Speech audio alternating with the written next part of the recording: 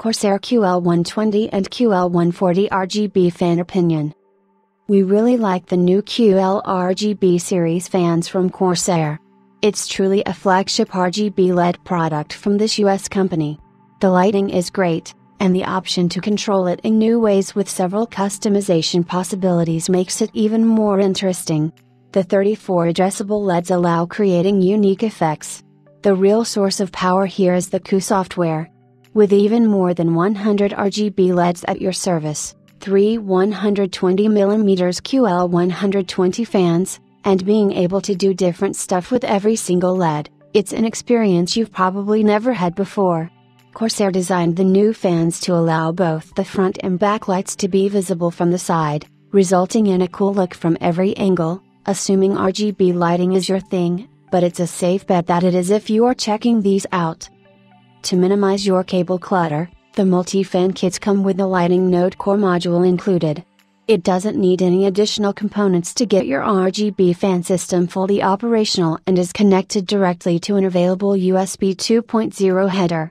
As for the performance, the QLs are very decent, but not quite great, as case fans, and more than acceptable as CPU coolers, but you should stick to 6 8 core CPUs.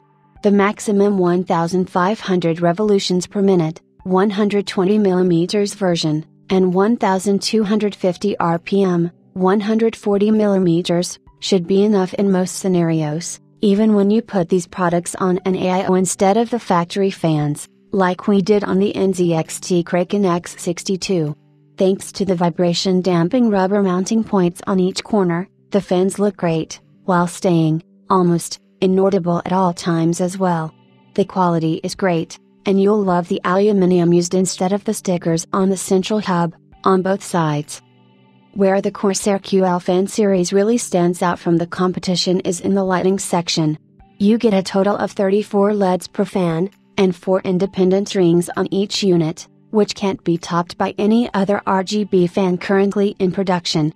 The Lighting Node Core controller with capacity for 6 units and perfect integration with iCUE is a great addition. You simply have to be able to control the speed of your fans. The fans themselves offer solid, not great, performance, running quietly. If you're looking for a good balance between cooling, noise, and illumination, there's nothing else on the market quite like the QLs. As it's a Corsair product, you can synchronize the lighting effects on the fans with other Corsair items you own.